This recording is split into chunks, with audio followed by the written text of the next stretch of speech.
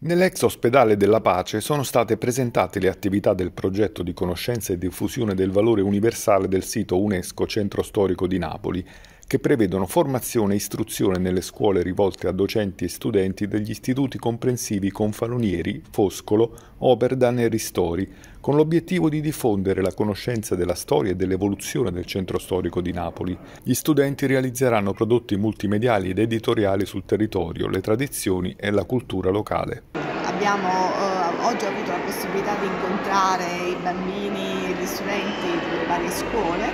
eh, che hanno presentato i loro progetti molto interessanti, molto ricchi di spunti e potremmo poi alla fine di questo percorso eh, avere dei prodotti che eh, saranno sicuramente utilizzati e valorizzati eh, all'interno di una eh, progettualità di promozione del, del nostro territorio e del nostro patrimonio.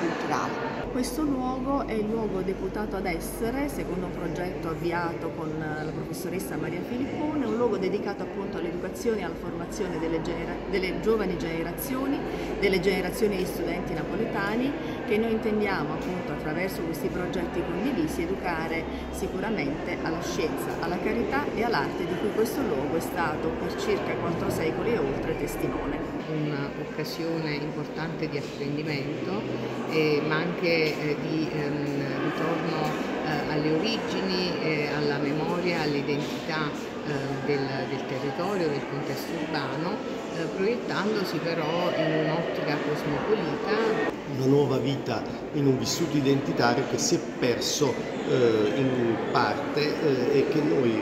vogliamo rivalorizzare e rifunzionalizzare attraverso questo tipo di percorso, eh, attraverso proprio questa modalità eh, differente eh, che parte proprio dai giovani e che deve essere poi la linfa per un trasporto intergenerazionale che a volte invece è stato separato e che noi cercheremo di riattivare.